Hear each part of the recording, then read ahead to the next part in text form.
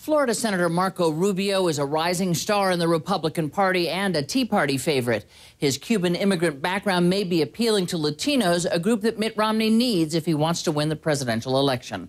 I sat down with Senator Rubio yesterday in Miami. First of all, thank you for doing Thank this. you. Let me start out with a Florida question that I want you to write large uh, in terms of the Romney campaign. In 2004, George Bush won 56 percent of the Hispanic vote here in Florida. In 2008, President Obama won 57%, so roughly even. Right now, given the positions that Mitt Romney has articulated that he stands for in terms of immigration and other issues, do you see him pulling these kind of numbers this year? I expect him to do better than how we did in 2008, but you have to work on it. And let me explain. I think what those numbers show But is to that, right now, today, he couldn't pull well, the kind of election's not well. The election's not today. I think we just got out of a primary cycle, and now that's why we're going to have a campaign where each side's going to tell and try to convince people to vote for them. I think what those numbers explain is what I, I know instinctively to be true, and that is that Americans of Hispanic descent, especially in Florida, are swing voters. That they're willing to vote for Republicans or Democrats on an election-by-election cycle. The number one issue in the Hispanic community, let's be clear, is economic empowerment. Which is a great pitch, but when you look at how Hispanics now feel about it, there's a 40% gap. I mean, that, that beats the gender gap any day. A 40% gap uh, between Hispanics who say they uh, favor President Obama versus Mitt Romney. Um, uh, candidate Romney has said he's for e-verify, making uh, employers go through a system to check to make sure that their employees uh, have papers. Uh, he is for what he calls self-deportation, which is basically making life so miserable for uh, illegals that maybe here, you know, no, no benefits, no jobs through the e-verify, that they self-deport.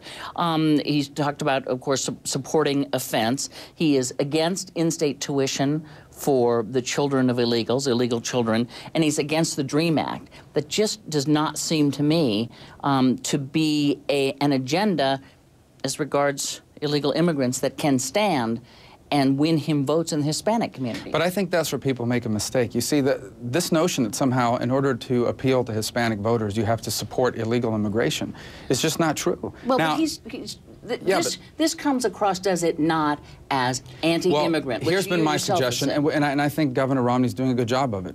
Here's been my suggestion. Other than only just talking about what we're against, you have to talk about what you're for. And what I have said consistently is that the Republican Party is and must become and continue to be the pro-legal immigration party. We have to make very clear we support legal immigration. The vast majority of Americans of Hispanic descent are we're legally illegal here. Immigration, is Sure. it not? I mean, I think everybody supports legal immigration. That's part of the American dream. It does matter how you talk about the issue. It starts by recognizing that the vast majority of people who are in this country illegally, you know, didn't come here to steal from the American government. They're in search of jobs and opportunity. They are doing what most people would do if their family, their children were hungry and their family were suffering. And that is just about anything you have to do in order to provide for your family. You go down to Homestead, Florida here, and you talk to migrant workers that may be here without documents. They would tell you they wish there was a functional guest worker program, and that the reason why they can't return to their countries, they're afraid they won't be able to come But back next honestly, year they haven't been when they're talking needed. about guest worker programs really so much as they've been talking about uh, fences and uh, in-state tuition being denied to the children of illegals, who, as you note in your uh, bill that you're working on, had abs- you know very little choice uh, in coming here. Well- Is that a sustainable position? Again, you have to have immigration laws and they have to be enforced. That doesn't mean that because you support the laws that you don't recognize the humanitarian aspects of the immigration problem. For example, the case of the children that you've just outlined, to me is very real. We have a, a case here in Florida of a young woman who came when she was four years old. Her name is Daniela Pelaez. She's the valedictorian of her high school this year. She has a 6.8 GPA. She's been admitted to Dartmouth uh, as a, to, to study molecular biology.